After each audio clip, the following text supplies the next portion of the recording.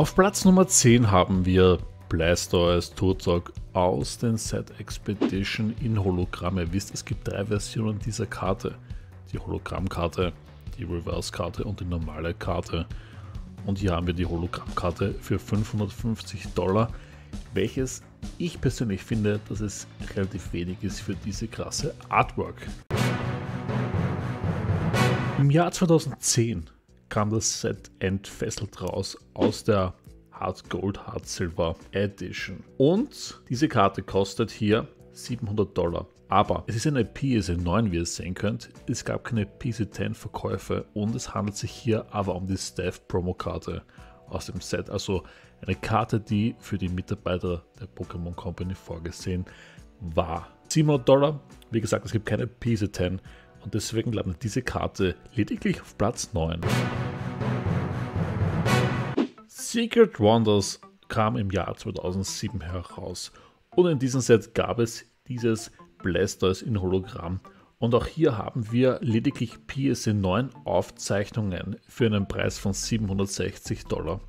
Ihr seht, dass auch hier das Problem die niedrige Population der Karten ist, da in dieser Zeit wenig gepuntet worden ist und es gibt einfach keine Leute, die eine zufällig eine Gem Mint Turtle Karte zu Hause rumliegen haben, weil die Printerflagge so niedrig war.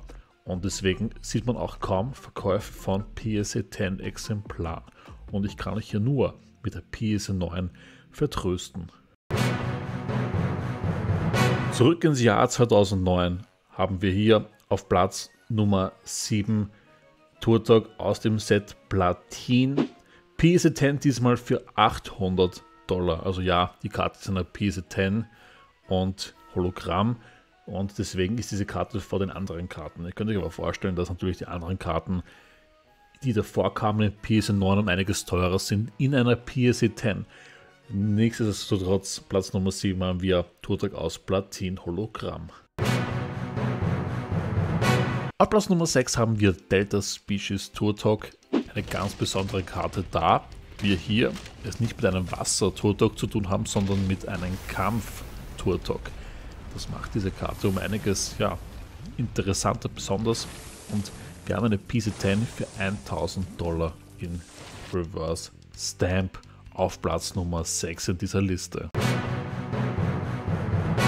Auf Platz Nummer 5 haben wir gleich zwei Turtoks. Wir haben zum einen aus dem Jahr 2004 aus Feuerrot und Blattgrün Blastoise EX für 2000 Dollar PC 10 und wir haben aus 2013 aus der Schwarz- und Weiß-Zeit haben wir das Shiny Tour Talk, ja, welches 2000 Dollar kostet und vielleicht für viele unter dem Radar liegt, ja, weil es nicht so populär ist, aber doch eine sehr einzigartige Karte ist mit dem Goldrand und ja, die Karte kostet in der PISA 10 2000, aber PISA 9, PISA 8 ist nicht so teuer. Ein kleiner Geheimtipp für Tour Talk Fans so nebenbei. Auf Platz Nummer 4 haben wir natürlich aus Team Rocket Dark Blastoise.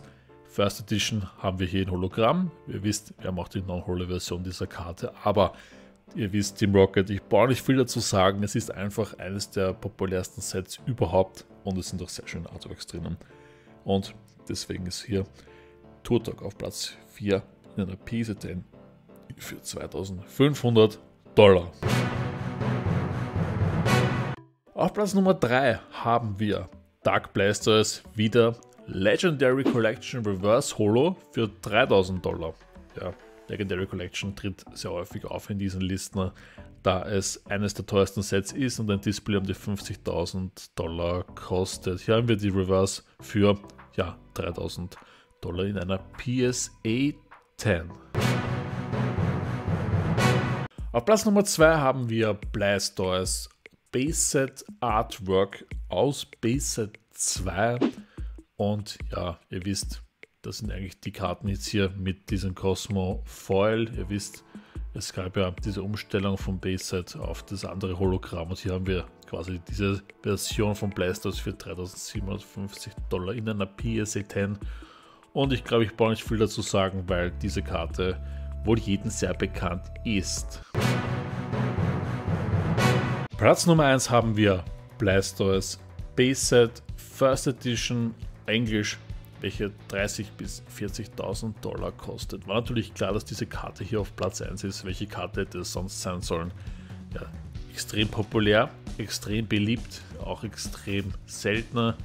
Und auch hier haben wir einfach bei den Basic-Karten das Phänomen, dass auch sehr wenig neu gecreatete Karten hinzukommen. Wenn ihr mehr Top 10 Pokémon sehen wollt, dann schaut mal hier. Ich habe ein paar Videos verlinkt. Like das Video, lasst ein Abo da und wow, Leute!